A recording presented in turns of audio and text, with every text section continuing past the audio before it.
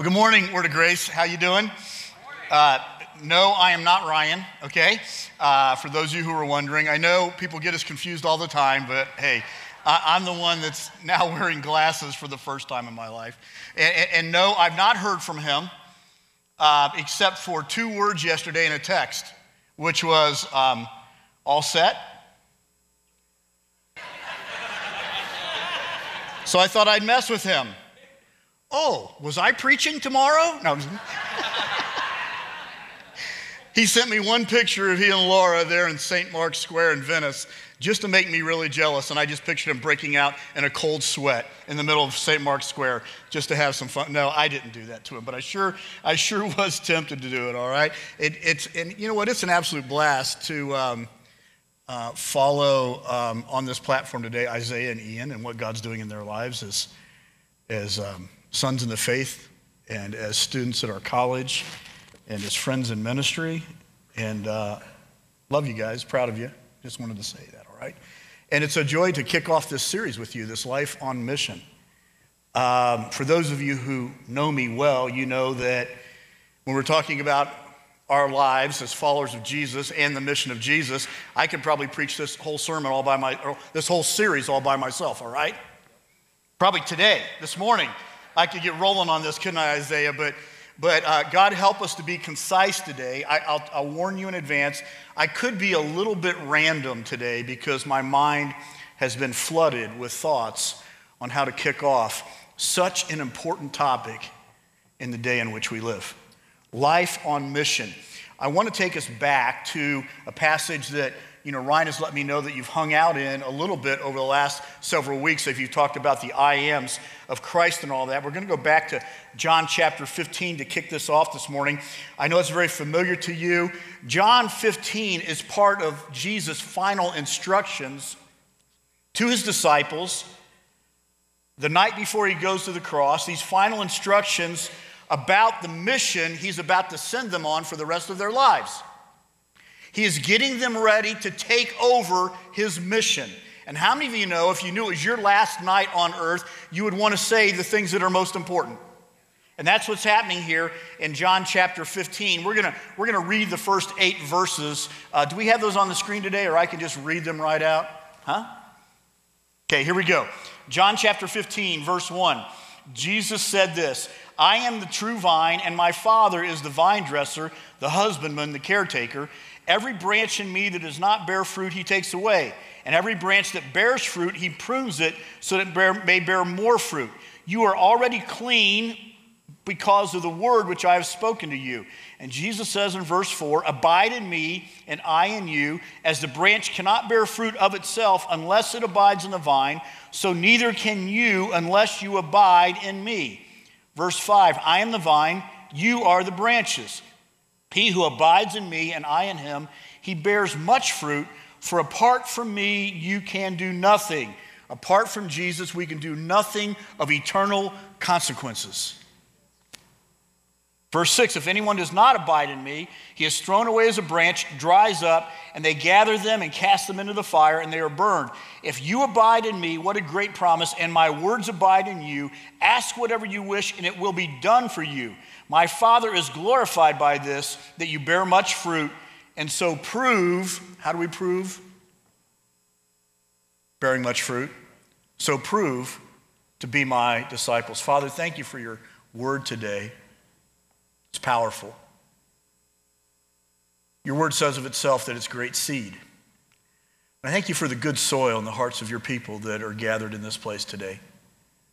Lord Jesus, for the sake of your kingdom, for the sake of your mission, I pray that the good seed of your word would find good soil and root deeply in our hearts and bring forth a harvest 100 fold for your kingdom and glory. In Christ's name we pray. Can we say amen together? Amen. For Jesus to be on mission meant just one thing let's go change the world. When he was starting his ministry in John chapter 4, and he takes his disciples through an area of the world called Samaria, where no Jew would go. The Samaritans were half breeds, they were despised by the Jews, and Jesus said, I must go through Samaria. He takes his disciples through Samaria to begin to break them out of their cultural biases, because their call was going to be to Jerusalem, Judea, Samaria, and the uttermost parts of the earth. And while he is having this conversation with the woman at the well, and the disciples show up after they go into town for some burgers and fries, and they're surprised seeing him having this conversation, Jesus said to the guys, when they said, Who fed you?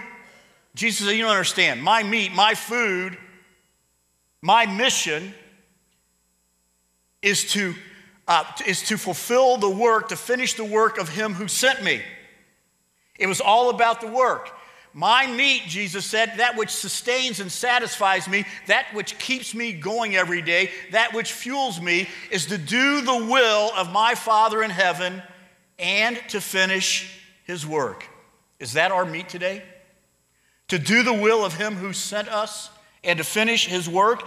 So, so for Jesus to be on mission meant one thing let's go change the world. For the disciples, to, me, to be on mission meant one thing that we have been called to change the world around us from our city to the nations.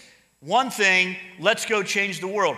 The mission for the disciples was all about learning. Jesus said, Take my yoke and learn from me. The mission for the disciples was all about following. Take up, my, take up your cross and follow me. The mission of Jesus was all about training and preparation for changing the world. The mission for the disciples of Jesus was all about doing his work.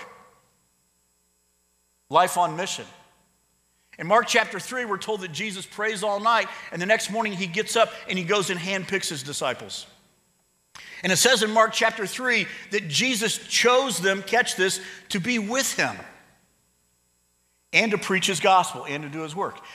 First of all, Jesus simply has chosen you and I to be with him and to grow in relationship and to grow in intimacy with him. That's the first thing on mission. But the second thing is Jesus has chose us that we might do the work with him. The work that he started. In Mark chapter 3, he chose them to be with him.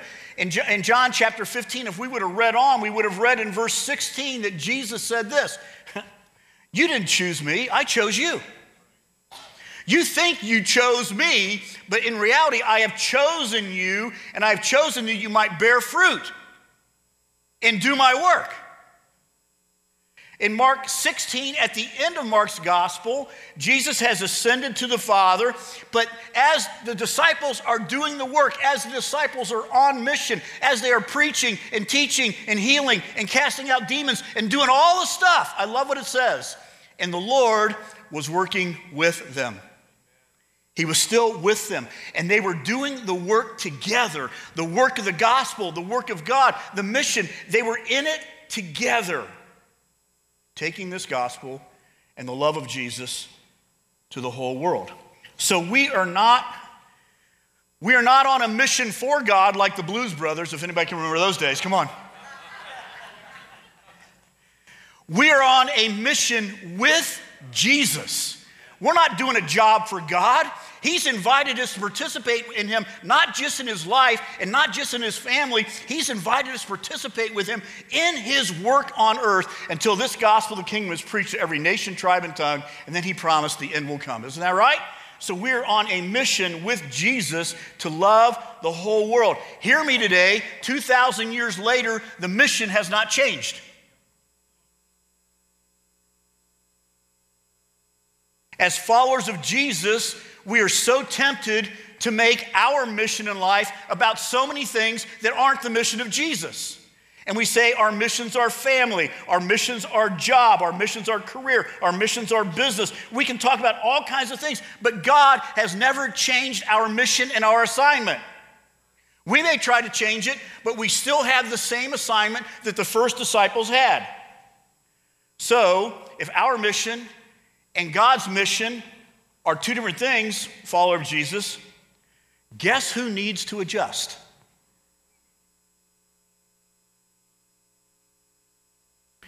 If we don't adjust, then we're not experiencing life on mission with God. In Mark chapter 3, he chose them to be with him. In Mark chapter 16, he was working with them together in mission. And before he ascended to the right hand of the Father, in Acts chapter 1, the disciples are having another one of those goofy conversations. How many times do I have to tell you the same thing, guys? Not that he ever has to do that with us, isn't that right? Come on now. Huh? Jesus, is this the time that you're going to kick the Romans out of Israel and set up your kingdom on earth? And what did he say? Guys, it's not for you to know the times and seasons that have been set by my Father's authority. Okay? But you will be my witnesses when the Holy Spirit comes upon you in Jerusalem, Judea, Samaria, and the uttermost parts of the earth. What was Jesus saying in that moment? He was saying very simply, guys, on earth, you're not going to know everything. You got to be good with that. On earth, you're not going to know everything, but you are going to become something. And what you become together has the power to change the whole world. You're not going to know everything, but you are to become something, family of God. And what you become together can change the entire world. So, what does it mean to be a disciple of Jesus Christ? Well, it's being a learner, it's being a follower, all right? It's being an ambassador representing his kingdom on earth. It's being a reproducer. A disciple is someone that's discipling somebody else. You only got to be one step ahead of the person you're discipling to help them grow in their faith. All right? A disciple represents the kingdom of heaven on earth. But to be discipled simply means that replicated in your life is what was in Jesus' life.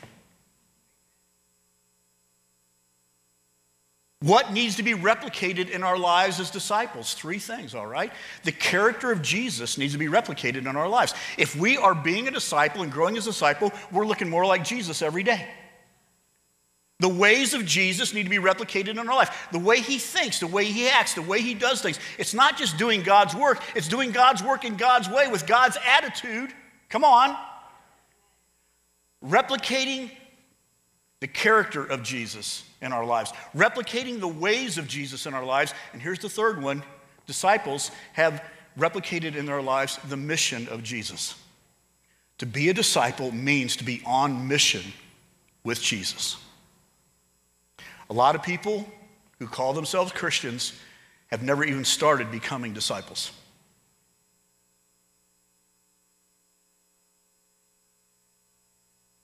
Because they have not allowed the Spirit of God and the leaders in their life to begin to replicate the character, ways, and mission in them. What is our college all about? Beyond getting degrees, it's all about replicating the character, ways, and mission in the next generation. Because that's what changes the world. Oh, let's keep going here.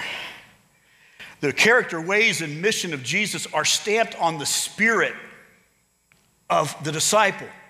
And if the name Christ means anointed one in the Greek, then it could stand to reason that the name Christian, which we call ourselves, can simply mean those who continue in his anointing. How good is that? That's who we are. To be a Christian is to continue in that anointing to heal, to preach, to reach, to touch, to change, to deliver, all in Jesus' name. That anointing that was on Jesus is to continue on our lives as we are engaged in the mission that He started when He came to planet Earth. That is our assignment as followers of Jesus. To continue, that's our privilege to continue in that anointing that is on our life because we are in Christ and Christ by his Spirit is in us. One who continues in his anointing to accomplish his mission on earth. So, what we become together, friends, has the power to change the world. The way we become is by following and training and doing his work together. You know what? And as I was re editing these notes earlier this morning, I said, no, that's not it. The way we become is by following training and not just doing his work. Hear me. It was a huge change in my mind to say it's not about just doing his work, it's about having a passion to finish his work together. Let me explain the differences that hit me early this morning. Let me ask you a question. How motivated are people to do anything? How motivated are people to do anything if they don't have a goal? Not at all, isn't that right? I mean, I growing up, I hated jogging, I hated running. I could play basketball all night long because there was a goal put the ball in the net, isn't that right? Just to run around a track or run through a field or run cross country. Why do that? Human beings are not motivated to do anything unless there's a goal. So, why has the church not finished the mission of Jesus yet? Maybe because we've talked about when we get around to it doing His work, instead of saying God has given us a goal to finish His work, and when we're focused on that goal, we'll get on with the mission that we've been called to accomplish. So, I want to say today, one more time, the way we become that group of people that have the power to change the world, the way we become is by, I lost my spot here. Here we go. The way we become is by following and training and having a passion to finish his work together. I think that was the first church. Grant, you just read about it from the book of Acts. Why did they turn their whole world upside down? First of all, they were empowered by the Holy Spirit with boldness to go do it. But secondly, they sincerely believe that Jesus was coming back at any time and we got to get the work done. We got to get the word out there. They had a goal to reach the whole world. And because they had a goal, the word of the Lord went everywhere. All of Jerusalem was saturated with their doctrine. Paul, Barnabas, others began to take the word everywhere. All of Asia heard the word of the Lord, Acts 19 tells us, because they had a goal and they had a passion. I really believe that most Christians really do want to please and serve God. I believe with all my heart. But many of us, frustratingly and repeatedly, come up short. And we feel defeated, and we feel disengaged, and we feel like there's got to be more to life, and I'm not, uh, and I'm not making it, and I'm, and I'm missing it. Why? You know, I, I think I think it's a training thing. I think it's a preparation thing. I think it's a discipling thing. It's a training thing. Let, let me illustrate it this way. Okay, picture this. Last night, I'm sitting in my recliner with the family, all right? I'm sitting in my recliner, thoroughly, thoroughly enjoying JT Barrett dismantling the Penn State defense in the fourth quarter, all right? How many of you just love that, huh? And in the middle of the fourth quarter, imagine that I get a knock on my door during commercial, hallelujah, all right? And, and, and I go answer my door, and there's a group of guys, fit, tr- trim, sharp, coats, ties, and, and they say, Are you Randy Young? Yeah, I'm Randy Young. Who are you? We are the U.S. Olympic Committee. Okay, what are you doing at my door? Well, we've been looking for someone to run the marathon for the United States Olympics in 2018. Okay, what are you doing at my door? All right? Well, we've been checking records, all right? And in the midst, they come into my house and their game's on, and there's just food, food everywhere. My favorite, come on, you got game time food, don't you? I won't go into detail. But they said, We've been checking records. We went all the way back into your presidential physical fitness record when you were in elementary school. We, we dug into body types. Uh, we, we looked at bone structure. We looked at percentage of body fat. Like Michael Phelps, who is an Olympic legend in the swimming pool, isn't that right? Because he had the perfect body to be an Olympic swimmer. We have determined out of over 300 million Americans that you're our guy. Actually, I am totally shocked by this group at my door. For me, the 100 meter dash had literally become how fast can I get to from the couch to the fridge before the commercial's over? And then I start to dream about what they're talking about. Man, living in the, Olympic Village for a month, all that unbelievable gourmet food everywhere, world class athletes all around me. the eyes of the world watching me run the marathon, maybe standing on the podium one day, stars and stripes behind me, the star spangled banner, you know, here I am, baby. Yeah. I begin to dream about all this, and then it hits me no matter how hard I try, there ain't no way.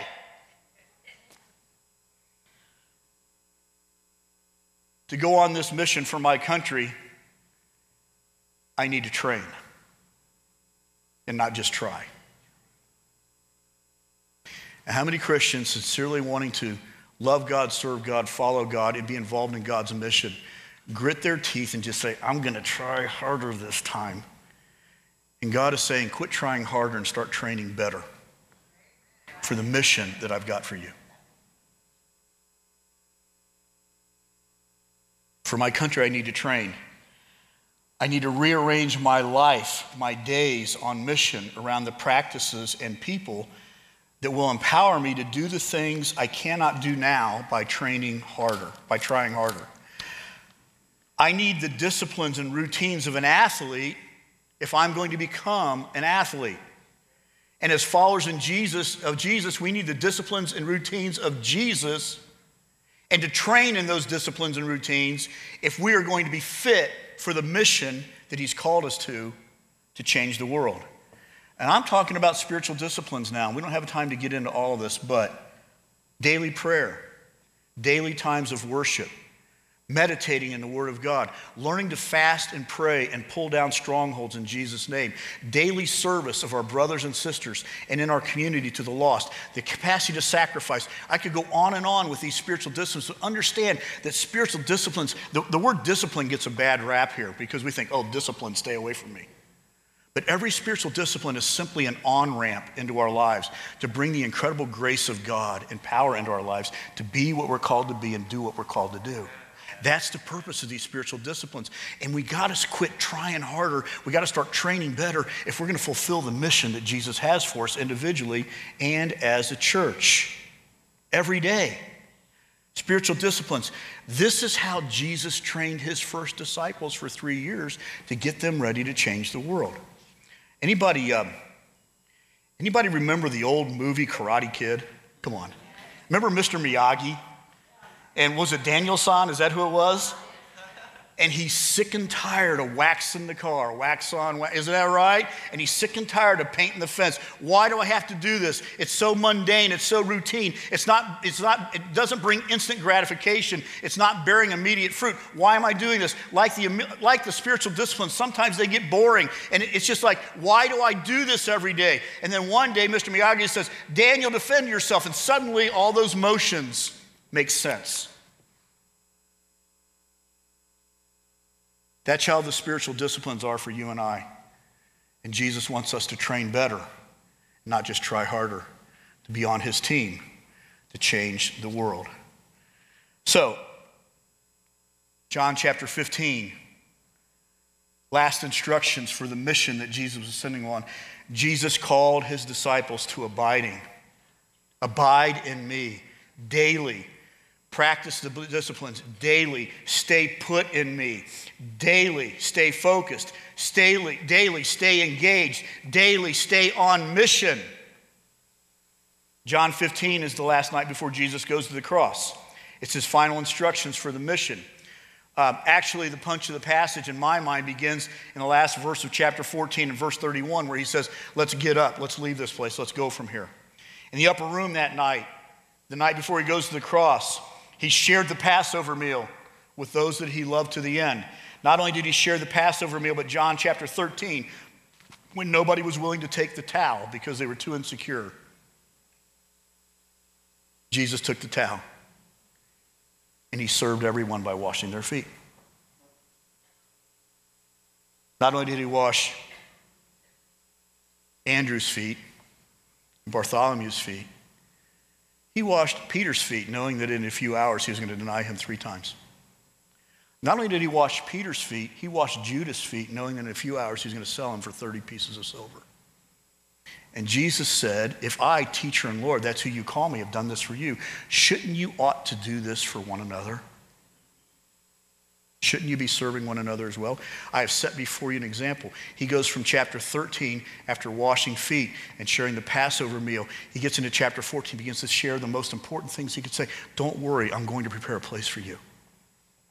And if I go, when I go, the Holy Spirit, He's going to come to you. He's going to uh, become another one just like me to you, another comforter just like me, another the same kind, literally, the Greek word means. And yeah, in this world, you're going to have tribulation. And he's pouring his guts into these guys the last night before he goes to the cross. And he quiets their hearts. It's the culmination of three years of training. And then he says, Let's go from here.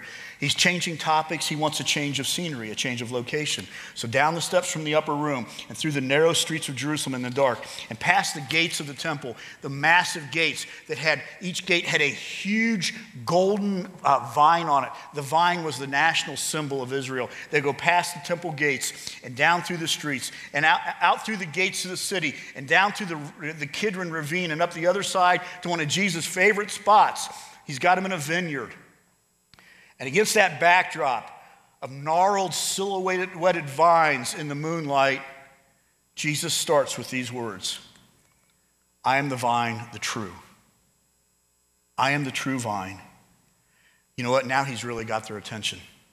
But he doesn't stop there. And he says, And my father is the husbandman, my father is the caretaker of this vine. Now he's really got their attention. I can imagine not only dead silence, but shock since they were little boys, they were taught that the vine that God loved was Israel, and the caretakers were the Pharisees. What Jesus said in the first two verses of, the, of John 15 was absolute revolution. Everything you've ever known, everything you've experienced, everything, it's all done as of tomorrow with my cross. Because the Pharisees are out and Israel's out. They are not, the, my, the true vine is going to be everybody that connects with me by faith and confession of sin. And my Father is going to be the one who takes care of this whole thing. Absolute statement of revolution. This is no longer going to be a little sect of Judaism. This is a whole new vine, a whole new way of life, and a whole new mission from God. And those who have not borne fruit, he says they're going to be taken away. And those who bear fruit, you know what? They get the prize of being pruned. Ouch. Anybody hate being pruned? Huh? I'm not talking about the juice.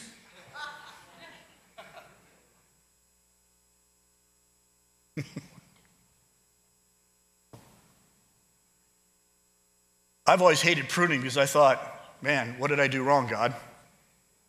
Am I being judged for something? Why am I suffering this cutback? Because that's what pruning is, is that right? But let's realize that pruning is not necessarily, it's not a sign of judgment, it is actually a sign of health. If you've got a plant that's producing well and you want it to produce better, you cut back the branches because the life is in the sap. And the more the sap has to travel along the branches, the less sap there is to produce the fruit on the branches. So to conserve sap, and I think, you know, you look at John 15, you say, where's the Holy Spirit and all this? I think, I think the Holy Spirit is the sap that carries the life that produces the fruit. So we call it fruit of the Spirit, isn't that right? He's everywhere in this passage. So pruning is a they have a saying in England for the best rose bushes, ask the neighbor that hates you the most to cut back your rose bush. Why? Because the life is in the sap. You don't want the life to be taken up through long branches. You want sweet fruit to be produced. It's not a sign of judgment, it's a sign of health.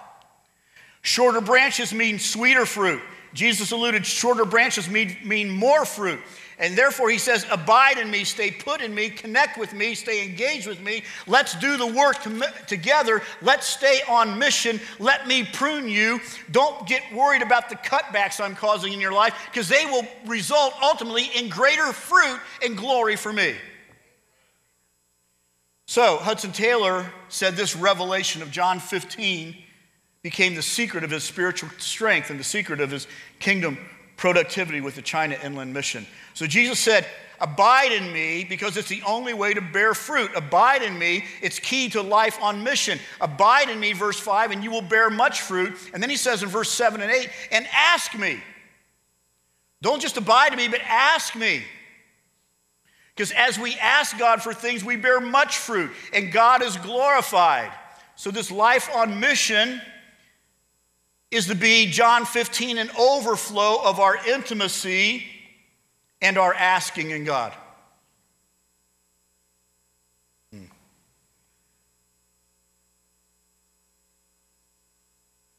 What kinds of things do you ask God for?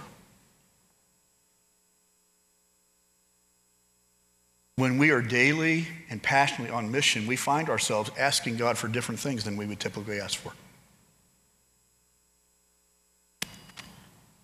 I'm challenged to the core with the invitation of Psalm chapter 2, verse 8, where God says through the psalmist, Ask of me, and I will give you the nations as your inheritance. That is the fulfillment of this mission that we're called on together.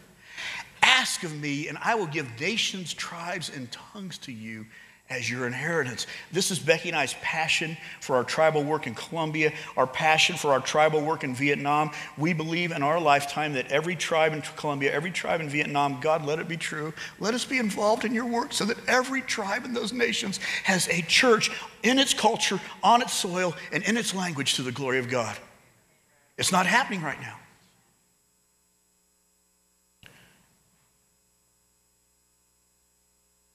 Here's another big ask life mission scripture Psalm 67, 1 and 2. Maybe you have quoted this before.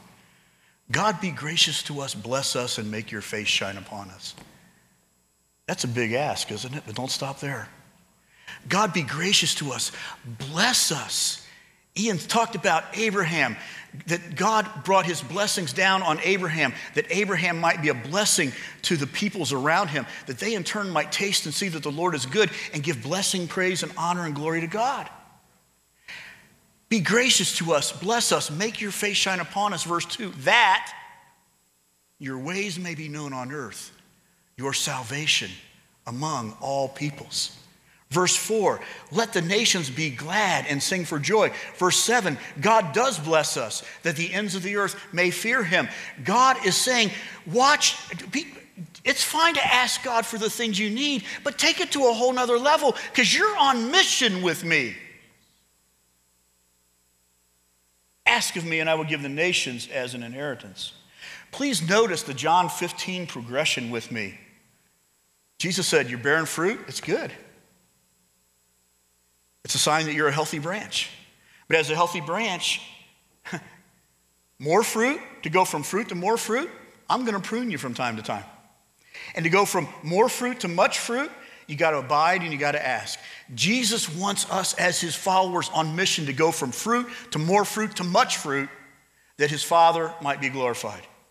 And our life on mission will glorify God as we move through this progression.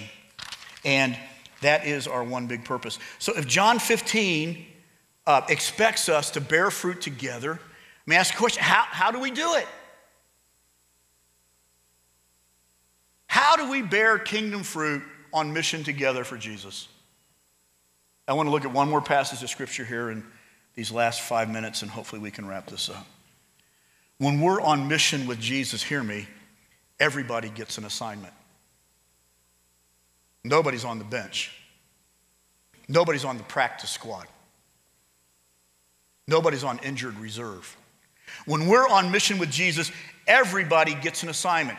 In Romans chapter 12, and we won't take time to turn there to read it for the sake of time, but I'll, I'll go through it with you as best I can. Paul is talking about in this mission, we are called to function as a body.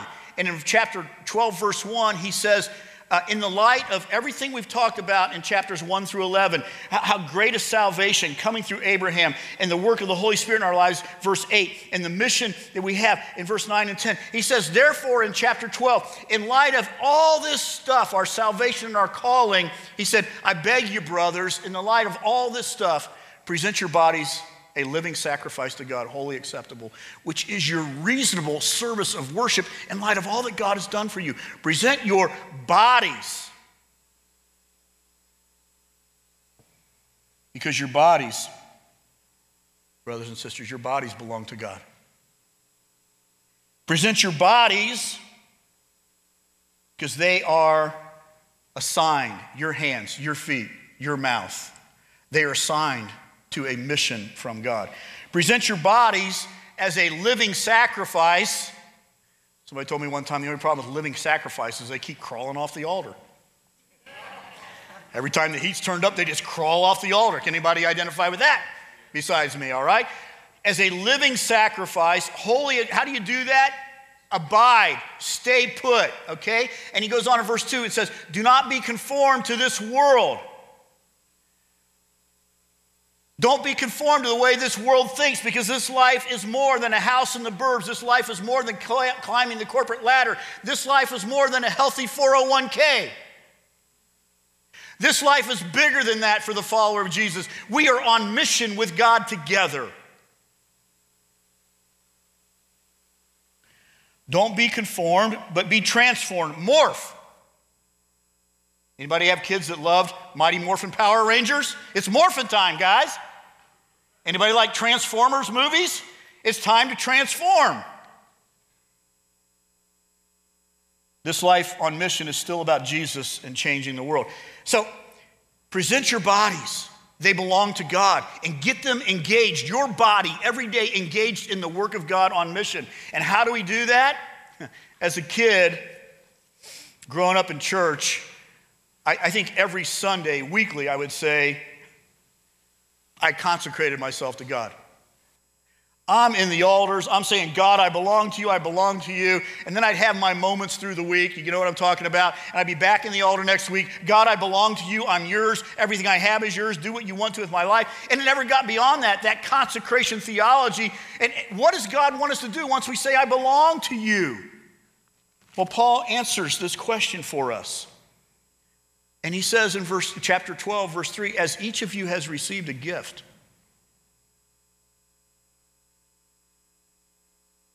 Do you know that the moment you said yes to Jesus, not only did he give you the gift of salvation, but he made you a gift to the body of Christ? As each has received a gift, do you know that your gift is for my benefit and my gift is for your benefit as we function as a body together? As each has received a gift, Peter says in 1 Peter 4, as each has received a gift, use it to, as a display of the manifold, many sided grace of God on the body of Christ. As we function in our giftings as a body, we fulfill the mission of Jesus together. Three gift lists in the New Testament Ephesians 4, the gifts of the Son. He gave gifts to the church evangelists, prophets, pastors, teachers, apostles to train the people of God to do the work of the ministry, not to do the work of the ministry themselves. He gave gifts of the Spirit, 1 Corinthians 12, nine gifts, directly correlating to the omnipresence of Jesus, the omnipotence of Jesus, okay, and, and the omniscience of Jesus, his all knowing, his all power, his all awareness. Can't break that down for you right now. We got to keep moving.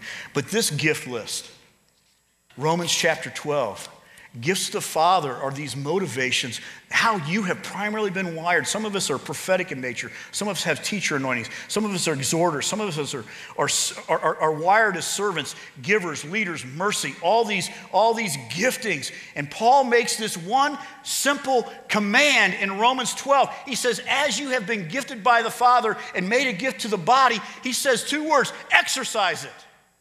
Exercise the gift that God has made of you. This is one of the ways that we go on mission together to change the world. Exercise the gift by abiding and bearing fruit and being a disciple and finishing his work. So if I asked you today, how has God the Father gifted you? And how are you using that gift to the body called Word of Grace daily and sacrificially? What would you say?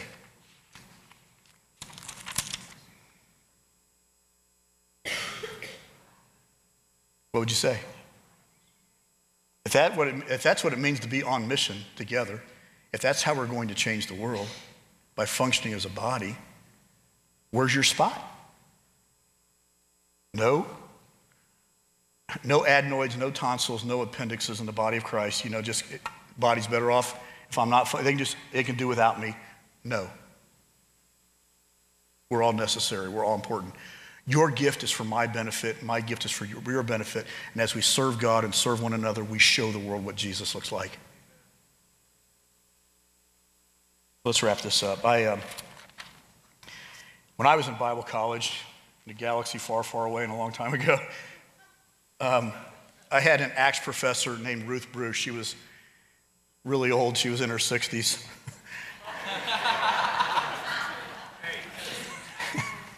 she grew up on the mission field in India and served God her whole life in India. And she retired by becoming a Bible college professor. And to hear the book of Acts through an Eastern mindset was absolutely fascinating. She told the story one time of all the missionaries in, in India gathered up in the north, in the Hindu north, praying for the nation.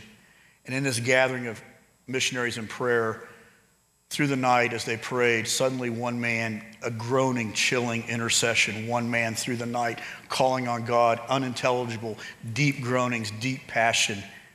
The next morning they asked this man, you know, what was that all about? And he said, as we were praying together, he said, I had a vision from God.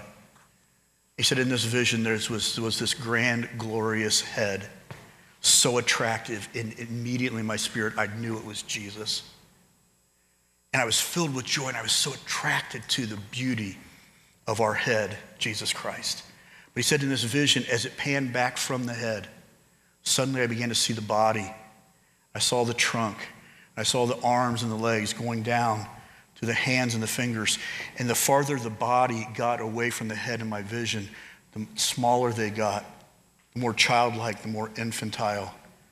So when they got to the hands and the feet, they looked like newborns little hands and feet. And it was grotesque, and it gripped my heart, and it caused me to weep and groan when Jesus said to me by the Spirit, This is how I see my body in India today.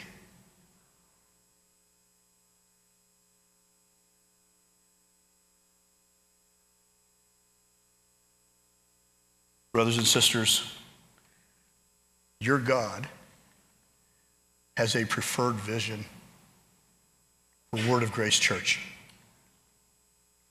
We serve a grand, glorious head, Jesus Christ Himself. And His vision for Word of Grace Church is a mature, functioning body of believers, loving one another, serving one another, displaying Jesus to the community, and changing the world until He comes again. This is what it means to be on mission individually and together for our Lord and Savior Jesus Christ. He held nothing back from us. We can't hold anything back from Him. Let's quit trying harder, let's train better, and let's serve our King together on mission until He returns. God has all of us on a mission. And folks, it's time for His glory and kingdom to train better, to abide deeper, to ask more, and to grow up in Christ. To grow up in Christ.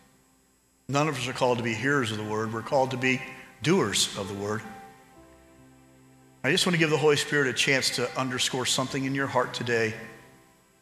Maybe it's something I said, maybe it's something I didn't say, but the Holy Spirit's just lasering into your spirit right now. Say, God, is there something you want me to take away from this message today? To start today. Because I don't want to just be a hearer, I want to be a doer of your word. Lord Jesus, for the sake of this precious body of believers and its life and joy and health in you, for the sake of this delightful community called Chesterland Beyond, Jesus, that you died for that needs to see an ongoing, loving display of what you're really like through your church. For the sake of the greater Cleveland area, yes, God, even for the sake of far off nations, but most importantly, for the sake of your great name and the glory that you deserve. Give us a fresh passion to train and to grow and to abide and to serve one another and to love you contagiously. and to become that body that will change the world on mission until you come again. I've asked the worship team to help us with a little chorus that is a declaration, a simple declaration of faith that maybe you sang a long, long time ago. But can we stand to our feet as we sing this little song? I, it's a discipleship song. I have decided to follow Jesus.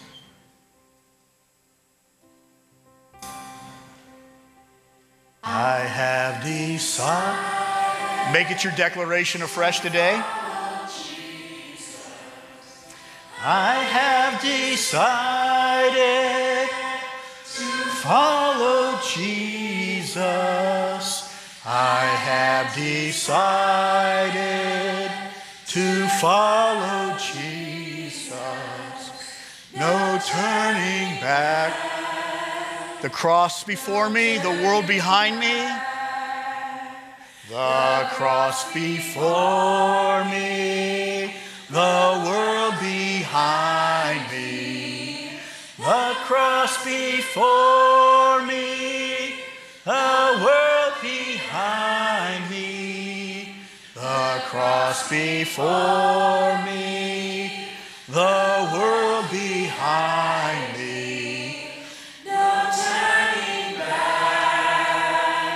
Though none go with me, still I will follow. Though none go with me, still I will follow. Though none go with me, still I will follow. Though none go with me, still I will follow. No turning back. I'll turning back. We have decided. We have decided as the family of God to follow Jesus. We have decided as Word of Grace in Chesterland, Ohio. We have decided to follow Jesus. No turning back, no turning back. Now, Lord and Savior Jesus Christ, our glorious head, I commit this precious body of believers to you. I pray, God, that this coming year and decade will be marked by life on mission together as it's never been done before at this church. I pray from Chesterland to the nations, people will recognize that Jesus is God and that Jesus is real and that Jesus is love as they walk in mission together. Give them guidance. I pray for the leadership team that they will, you will show them the way forward. You will mark out territories for them, places for them, assignments for them, God, where as a body they can extend your love, grace, and mercy. And may they know the joy that can only come by serving you hard together in the trenches, in mission, until you come again. I commit this precious church and the mission you have for it into your precious hands and for the glory of God our Father. And all the church said together, Amen. Amen.